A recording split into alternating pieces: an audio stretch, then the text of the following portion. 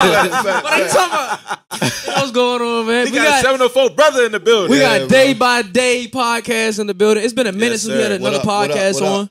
Bro, you've been going crazy. I appreciate that. Let me start with this. You said, you know what I'm saying, from the 704.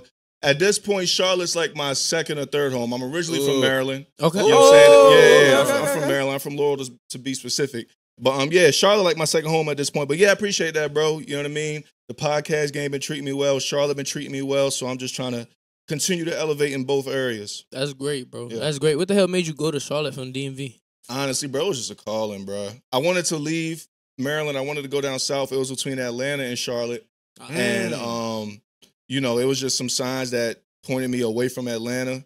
And my cousin, she went to college in Charlotte, and she would recommend it. And um, I went out there and visited, and it, it just it just made all the sense in the world. And man, it's been the best move of my fucking life. Like seriously. So, what were those signs that pointed you away from Atlanta? Because everybody go to Atlanta. That's what I'm saying. Everybody seems like, oh, like, I gotta go to Atlanta yeah, or like go to Atlanta. Atlanta's the Cali, New spot. York. Yeah. Atlanta is well, the see, that's one of the things I think, you know, just from the stories of everyone that live in Atlanta, like it sounds oversaturated.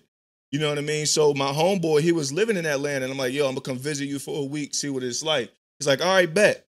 I booked a flight two days before. He calls me, he's like, yo, I got good news and I got bad news. I'm like, all right, give me the bad news first. He's like, I'm not in Atlanta no more, but if you want me to come out here with you, I will. I'm like, all right, fuck it. That's a sign. I don't need to be in Atlanta. Mm. So I'm like, okay, do I stay home in Maryland and just get a nice job and like buy a house and all that shit, or do I pack up my Honda Accord, put it on a U-Haul, and drive down to Charlotte? I go to this job interview, get it. This is during COVID, so I'm working Amazon for like a whole year straight. Get the job, a good paying job in Baltimore on Pulaski Highway. I'm driving on 95. What do I see?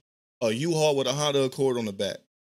I turned down the job and went out to Charlotte right That's then wild. Damn. That's, Yeah. that's like a sign. Right? That's Hell that's yeah, a bro. And crazy you be getting sign. Charlotte women on. Now, look at him. I knew you were gonna say that shit.